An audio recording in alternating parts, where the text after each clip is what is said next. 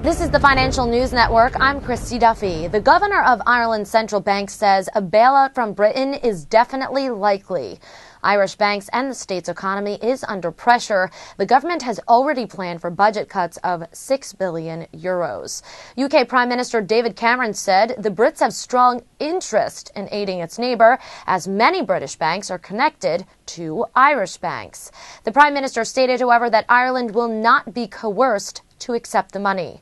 Some Irish politicians are calling the situation humiliating. They say the people should decide what to do about the economic crisis instead of allowing influence from abroad. For further updates, stay tuned. You're watching the Financial News Network. I'm Christy Duffy.